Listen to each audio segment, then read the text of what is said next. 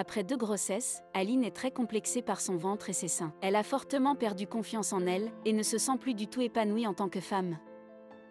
Elle songe de plus en plus à subir une chirurgie, mais elle n'y connaît rien et se pose de nombreuses questions.